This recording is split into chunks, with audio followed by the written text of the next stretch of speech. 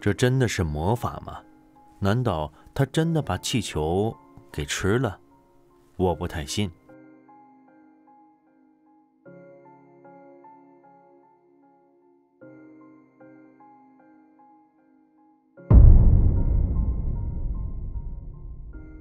想象一下，用手机检查你家的摄像头，你发现，在你睡觉的时候，镜头里记录了一些你无法想象的事情。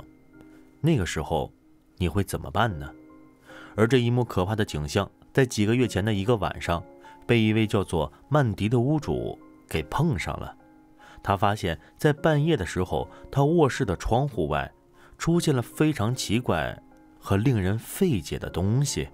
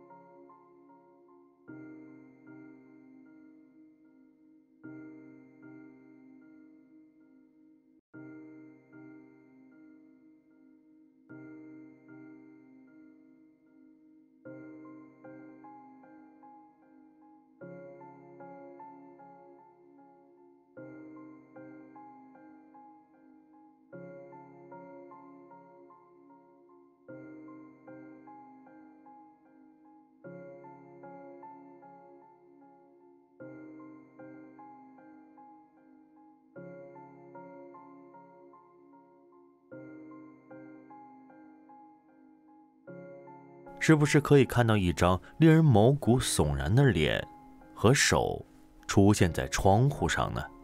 这让曼迪感到恐惧。他只是想让他的孩子在一个安全的地方，可想想现在的处境，他十分的不安，但又不知道该怎么办。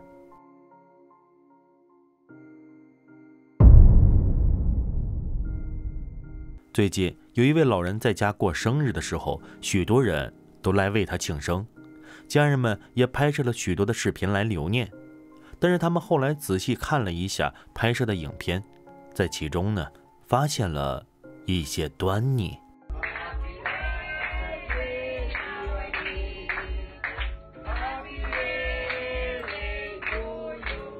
一个奇怪的黑色人物在老人的背后飞驰而过，如果放慢速度的话，他看起来很像是一个。年轻女孩那天在场的家人没有人认识她，家人们也无法解释这种令人不安的事情。有些时候，恐怖的事情并不一定是见鬼了，有些时候打不开门也会很恐怖。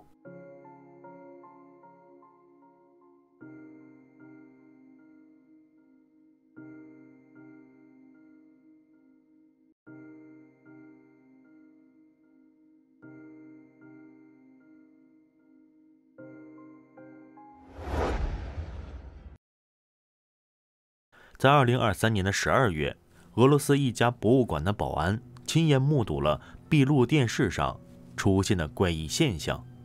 据这位保安说，那天是周日的晚上七点半，博物馆里没什么人，他就坐在了保安室里值班。但是他突然发现闭路电视上好像有什么东西。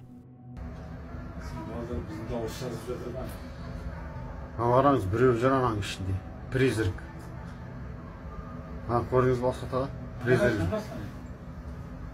А, иә? Иә, иә. Көрдіңіз ба? Призрак жүр. Кран жабық тұр Кран жабық тұр, иә. Мен жауып кеттім ғой. Сіз шынап ход жасап жауып келдіңіз. Қайта сізге көрінбепті жаңа. Көрінгенде сіздің есіңіз шығады деді. Мынаны көрдіңіз ба? Елес жүр ғой, елес, призрак.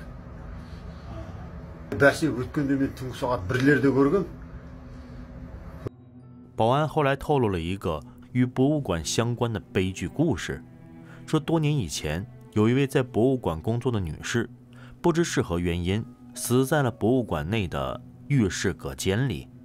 一些人认为，闭路电视上捕捉到的幽灵，可能是她的灵魂在大厅里游荡。当然了，这可能是博物馆吸引游客的手段。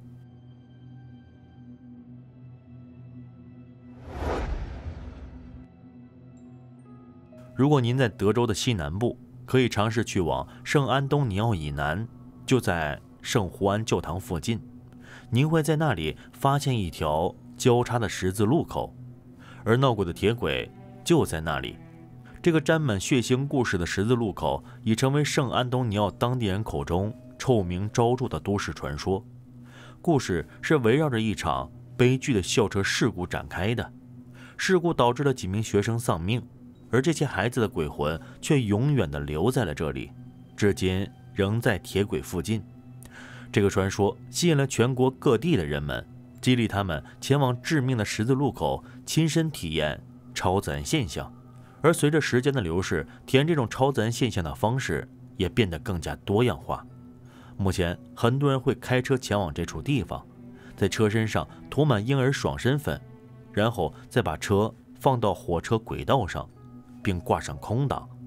据说这个时候，孩子们的灵魂为了救你，就会把你的车给推出铁轨，并在车身上留下各种各样的手印。这个时候，爽身粉就起到了效果，它能让你清楚地看到那些小小的手留下的痕迹。hey, support DC. Natalie's gonna beat us to it. A ver, a ver, a ver, what's up? Mira. I don't see no friends. We have a fucking running by now. Oh my god! What? I stop it.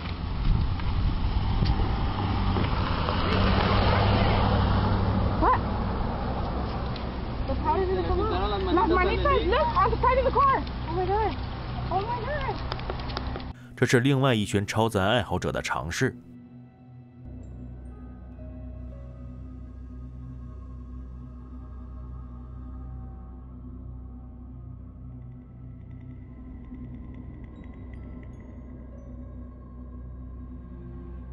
让我们从别的角度来看一下这种超自然事件吧。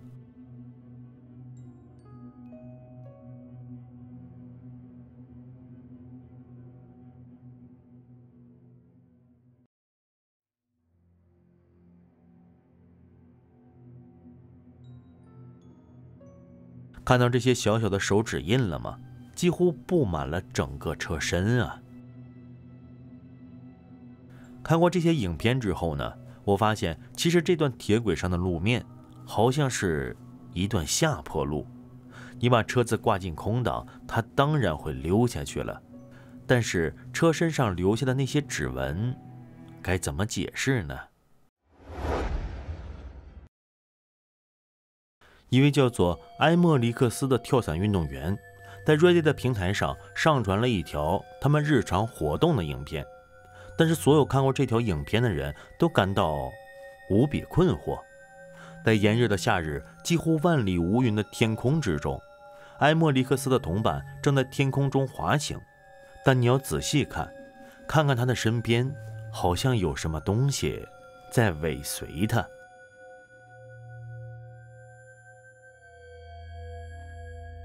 埃莫里克斯说：“当他放大这个奇怪的物体时，他注意到周围有一个奇怪的球在活动。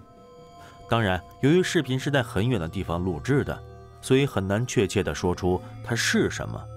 但很多人都认为这是一个不明飞行物，在这位运动员的身后飞行，有可能吧。”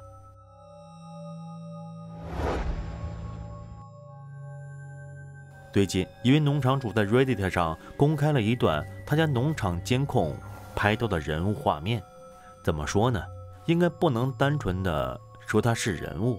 一开始的时候，农场主也认为这是一个普通人，直到他又仔细的看了一遍。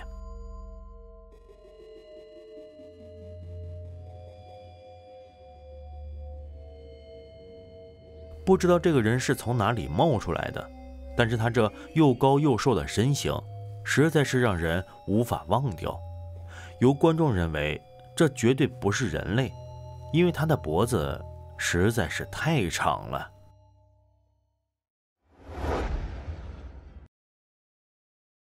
一位来自印尼的灵异探险博主最近探索了一处十分诡异的私人庄园。据庄园主说，最近一到了晚上，挨近森林的地方就会出现各种各样的诡异声音，我们根本就不敢靠近那里。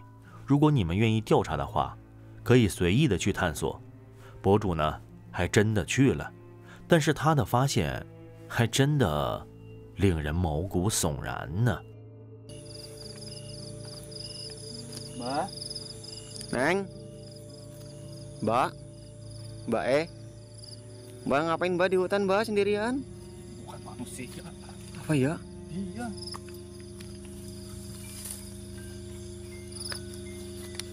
Bukan manusia, goblok. Aduh. Ih, itu. Mana? Itu. Ih. Astagfirullahaladzim. Darah Mas.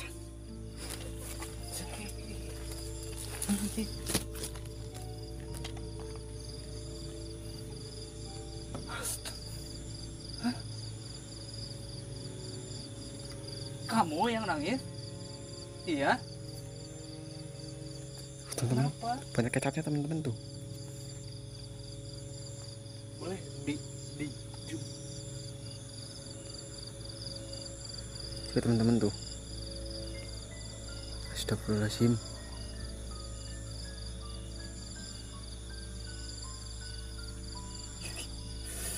Ngeri banget mas. Kenapa kamu? Aduh. Ada-ada aja kok diangkat ya kameranya ya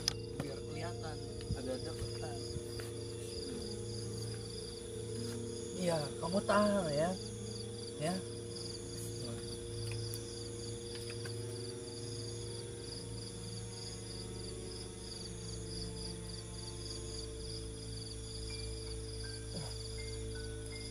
Jangan ngintip atau mas? Hah? Ngintip. Aduh, jadi lupa.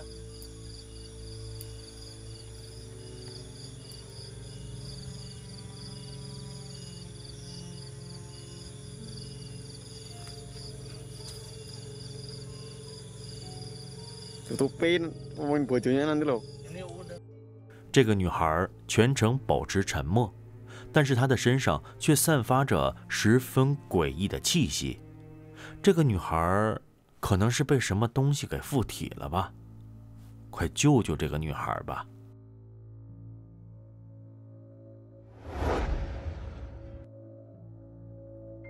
一位叫做迪伊的幽灵猎人，在几个月之前来到了俄亥俄州最闹鬼的州立公园。据说这座公园曾经就有过幽灵目击事件发生，甚至有报道称这里还存在着某种神秘生物。当时已经很晚了，天很黑。当第一走进公园的树林深处时，他找到了一个地方安顿下来，便开始使用电磁波仪器与这里的存在进行沟通。但是接下来发生的事情让我们感到十分的震惊与惶恐。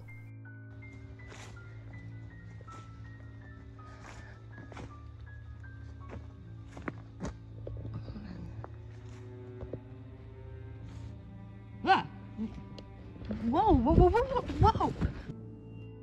这双眼睛是谁的呢？会是那个神秘生物的吗？难道他一直都在迪伊的身边，偷偷的监视他吗？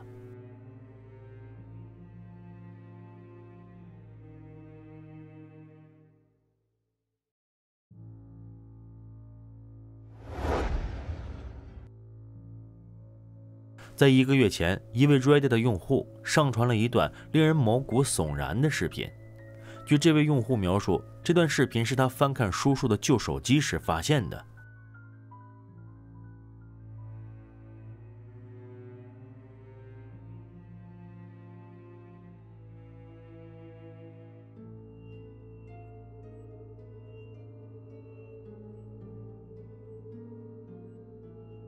虽然这种老旧的手机拍摄出来的画面十分的模糊，但仔细看的话，就会发现有东西潜伏在草丛里。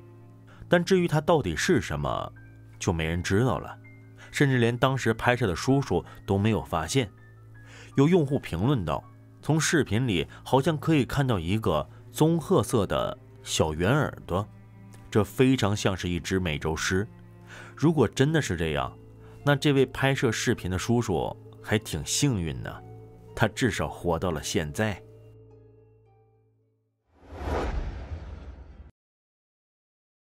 在前几期的节目中，我们谈过儿时的记忆。我看了一些大家的评论，有不少人都能记得很小时候的事情。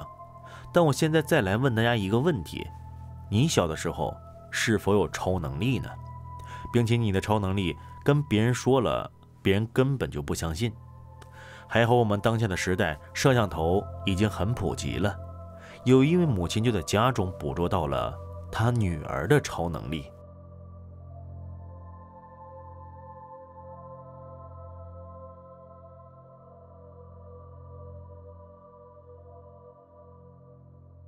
看着好像是靠着皮肤的摩擦力才攀爬上去的，但是我跟你讲，这个动作一点都不简单。如果不信的话，你可以去试试，很容易就从墙上掉下来的。小女孩的这个能力，我认为这就是我们生活中的超能力。生活中的超能力跟电影或电视剧中的是完全不一样的，并且我们的这种超能力还会随着时间的推移渐渐的消失。最后来分享一位观众小时候的经历。那时候我还很小，大概是九七年到九九年的事情。这个事件时间跨度比较长，而且是周期性的，但令我印象非常的深刻。那时候我家住在农村，那是九七年的一个冬天。一天夜里，我和家人正在睡觉，但突然就被屋后传来的咚咚声。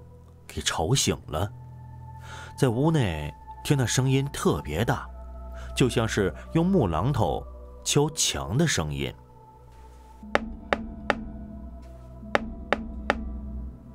恰巧那一年我爸爸没在家，外出打工去了，只有我和妈妈在家。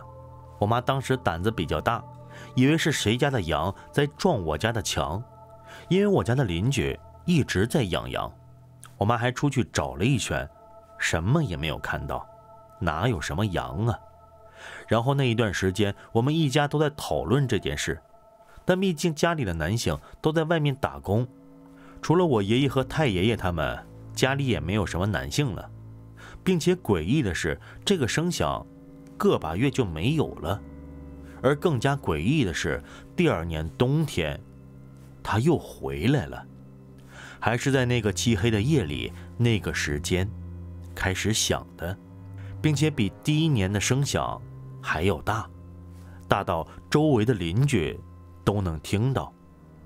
那一年正好家里人都在，人多了也不害怕。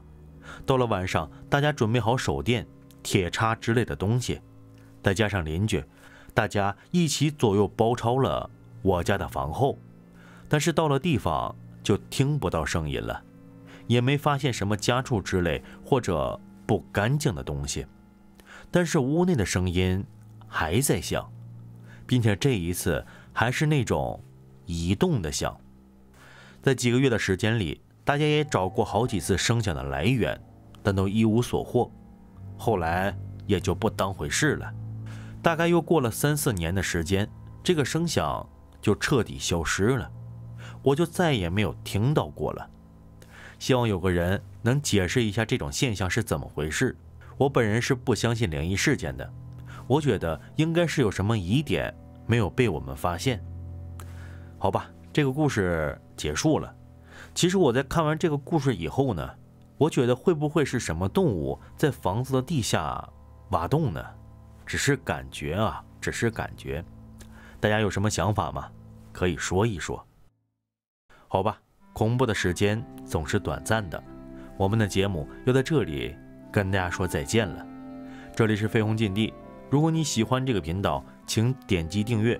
打开小铃铛，让我们在以后的日子里一起探索这个未知的世界。